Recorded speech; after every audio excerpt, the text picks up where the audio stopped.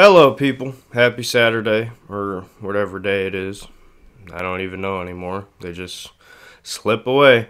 Um, I want to talk about something that piqued my interest, uh, and it doesn't affect my team or my team's competition or anything like that.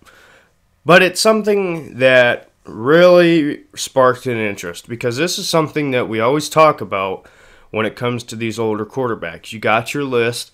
Um, going back, now I know some of these people are retired, but I'm saying back to when Peyton Manning was still playing, back to Eli. Now you got Big Ben, you got um, Brees, Brady, of course, Roethlisberger. I said Roethlisberger.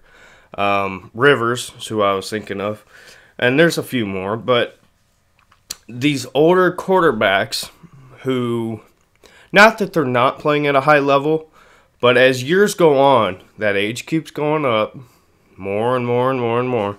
And you start to think, okay, uh, when are you going to pull a trigger here and plan for the future as far as replacement? And you've seen the Green Bay Packers do this with Aaron Rodgers, even though Aaron Rodgers has four years left on a big contract. So and I'm not saying they should have done that. My point is teams are starting to plan for the future. And you look at this free agent free agency with the quarterbacks with Bridgewater, Mariota, um, a couple other guys, Rivers, and Jameis Winston. And of course Cam, but Jameis Winston Number one overall pick from, I believe, 2016. Hold on a minute. Let's see. His first year was 2015. So, okay. So 2015, which five years ago. Um, so coming out of college, he seemed like a sure thing, right? Uh, 6'4", 231 pounds, just won a national championship. Actually, somewhat reminds me of Joe Burrow coming out, which, I mean, not saying that they're super similar, but coming off the national championship, good size, seems like a sure thing. That's my point. So, before anybody says Jameis Winston isn't Joe Burrow, that's what I'm saying. I'm saying look at coming out of college, size, um, and NFL expectancy, I guess you could say. So, Jameis Winston, right? I sat back and I'm like, man, you know, I get it. The Bucs got Tom Brady, but Jameis, I think, is still. I I wouldn't give up on him just yet, right? And I know Bruce Arians was his head coach, and I know Bruce Arians is supposed to be a quarterback whisperer. But Jameis Winston had 30 interceptions this year. That's the worst in the league. Um, but my point what I'm going to try to explain to you in this video, Jameis Winston going to the Saints, I believe, is a steal. Okay? Drew Brees decided that he was going to come back for another year for this upcoming season after speculation of retirement and com- excuse me coming off of a thumb injury to his throwing hand i know you know he wasn't necessarily hugely affected by it, and Bridgewater came in and did fantastic. But when you're up in age like that, you're coming off of injury, even though it's not a huge injury, it's going to be an injury that affects you. Uh, you need to start thinking for the future. And there's some people who are going to say, well, Taysom Hill.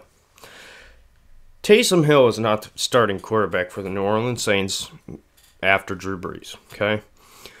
There's a chance that he is, but I'd say it's about 80% that he's not. Um, and I, that's being generous because I don't think I don't think it's going to happen. But Jameis Winston sitting out there in free agency after you're starting to see guys fall, especially guys like Mariota. Uh, and there was reports that the Raiders wanted Winston as well. But the whole problem here is the interceptions, okay? And he did have some interceptions problems going back to college, but whoop, knocked it over. Um, look at his stats, right? we don't know about the 30 interceptions. His quarterback rating was 16th. There's 32 starting quarterbacks. He was upper half of the 32 in QBR. Touchdowns, 33. That's second in the league. Okay. Yards, 5,009 uh, 5,109 yards. That's first in the league. So, not saying stats are everything because the eye test matters. Uh, I personally believe the eye test matters more than stats because there's certain things you can see that numbers won't tell you. His passing yards, fantastic. Passing touchdowns, fantastic. QBR, not the best, but it's it's solid. It's actually pretty good. It's better than a lot of the really good quarterbacks. Uh, you'd be surprised. I mean, if I told you that he had a better QBR than like an Aaron Rodgers, you'd be pretty surprised. Um, so the the interceptions is a big problem, yes. But what happens if you can get those interceptions down, right? Let's look at his past history as far as interceptions and the numbers there. First year in the league, 22 touchdowns, 15 interceptions. Second year, 28 touchdowns, 18 interceptions. 2017, 19 touchdowns, 11 interceptions. 2018, 19 touchdowns, 14 interceptions. And then, of course, 2019, 33, 30 interceptions. So, looking back at these numbers, right? Not saying Jameis Winston was the best quarterback in the league, but he was solid. Um, if you're a stat geek, like some people are when it comes to talking about stuff like this, his numbers were not terrible. Um, his lowest passing this past year was his highest passing yards number. His lowest was the year before. There was a huge increase there. It was roughly somewhere around like 2,300, something like that. More passing yards this year than last in Bruce Arians' system. Now, he didn't sign a bigger deal with any other team. There was rumors about the Steelers and their GM has come out and said that's fake, never offered him, never had interest, which I personally think is stupid. Um, and my best friend's a Steelers fan, I've said that. So when it comes to stuff with his team, you know, especially stuff like this, uh, looking for quarterbacks, it surprises me, or replacement quarterbacks, it surprises me when teams like the Steelers don't say, you know what, he had his problems but let's sign him and let's see. Let's at least get him in and see. You know, you don't have to sign him to a huge deal, but let's just get him in and see. No interest. No interest. That bothers me a lot. If I was a Steelers fan, I'd be very concerned, especially if you think that Mason Rudolph is the guy. And I know, coming from a Browns fan, that might sound biased, but you got to have a plan B, okay? You can't bank on anything. We got out and got, um, man, shoot, I forgot his name. What is his name? Case Keenum. Case Keenum. Not for replacement purposes, even though some people will say that, they're wrong. Uh, got him for mentorship, for the veteran factor, the fact that he knows our head coach's system to a T and has thrived in it. You got to have a backup plan, whether if it's older, younger, whether if you're looking for just a one year deal, a replacement. You got to have a backup plan. So the New Orleans Saints already had Taysom Hill, right? They have Taysom Hill listed as a flex player now, meaning he could play tight end, receiver. Jameis Winston signed a deal that was less than the majority of backups. C.J. Beathard, Cody, or uh, yeah, Cody Kessler, DeShone Kizer. These guys, RG3. Jameis Winston, who was first in passing yards, second in passing touchdowns, 16th in QBR, signed a deal less than them. The New Orleans Saints have a really good line, fantastic head coach, great receivers, great running back, good tight end. They have a lot to work with there, okay? Jameis Winston does not have to have single digits for picks. If you take his numbers that he had this year, you cut the interceptions in half. That's 15. So we're talking about 5,000 yard passing year, first in the league, 33 touchdowns, 50 interceptions, and 16th in QBR. Those are really good to above good quarterback numbers.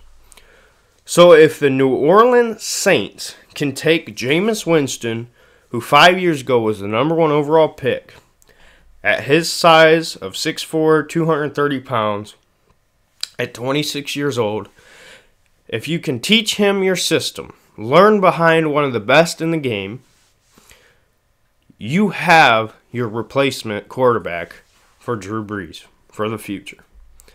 And I know he's older, 26. Joe Burrow is not young. Joe Burrow is, I think, 25. He might be 26 too. I don't know. He's really old. But anyway, Jameis Winston to the New Orleans Saints was an absolute steal. And he was asked, why would you take such a low contract? He's betting on himself that he can take the good numbers, keep them here, and take the interceptions, bring them down here.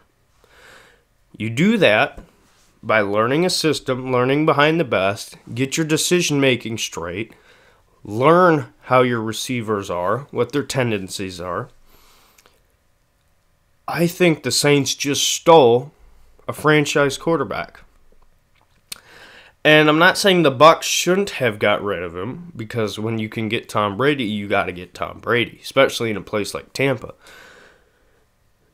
Jameis Winston you can't give up on him yet. Okay? Don't give up on Jameis Winston yet.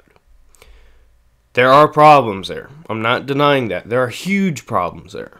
But you cannot throw somebody who's got this much talent away. His problems are his decision making and the interceptions, which go hand in hand. But when you're looking at the fact that he was second in passing touchdowns, first in yard passing yards. That says that the talent is there. It just needs to be contained and used wisely. Sean Payton, I think, is the guy who can do this. Bruce Arians, yes, great coach, great history, Hall of Famer, probably. Um, but I mean, you don't you don't just throw this talent away. Okay? Even if it turns out that he can't be fixed, which his numbers over his career say otherwise, because he hasn't had this many problems with interceptions. The highest he had before this year, I believe, was like 18, I think I said. I don't know. Um, so it's not that he can't be better, he can. It's just a matter of control, decision making. At this point in his career, for him to be able to step back, look at the big picture, and don't have all the pressure on him, learn, soak in everything you can. This is fantastic. He's betting on himself. I think the Saints got their guy for the future. I wouldn't give I wouldn't give up on him yet. And I could be wrong. I'm not saying that I'm 100% right, but you look at certain situations, and I believe Andy Dalton to the Patriots will happen too. Excuse me, and I think that could be a huge fit because similar things. The system, you can learn, new environment, it's refreshing. You see this all the time where guys have lower production on a team, go to a new team, new environment, new coaching, better system, and they thrive. It happens. So I think Jameis Winston has this chance. Now he's got he's got to do it himself, of course. He's got to be willing and open, which it sounds like he is. But this has potential to be a absolute steal. And as a Browns fan, thank you Pittsburgh for not doing this because I believe you would have had your franchise quarterback for the future, but you don't. So, you know, it is what it is. We'll see what happens with Cam Newton and uh, Andy Dalton. I think Cam. I don't know where Cam's going because that's that's uh, that's quite the situation. So, anyway, thought I'd give my uh, opinion on this. I don't know who uh, who's actually gonna watch this because unless my videos are Browns or Ohio State, the views are way down. So, um, and I'm not saying I do this for views, but I want to know. I genuinely want to know from people who see this do you agree with this? Do you think that Jameis Winston can be fixed? Because I there's a certain group of people like I think that obviously I think that um, and there's a couple people that I was listening to who think the same. And then it's like you get some of these guys who are supposedly professional analysts and they think there's no hope. It amazes me when one year of these problems can just throw it all away. So I genuinely want to know. Let me know in the comment section if you're if anybody's still watching to this point. Do you agree? Do you think Jameis Winston could be fixed? I say yes, and I say the Saints have their franchise quarterback for the future. Now, of course, he did sign a one year deal, so they're going to have to re sign him if they want him long term. So I think what the Saints are doing is they're saying, you know what, on this contract, let's bring him in. Let's have him in our system. Let's see what he's got. Why not? It's better than some of these other quarterbacks. So let me know your thoughts. Thanks for watching, and I'll see you in the next video.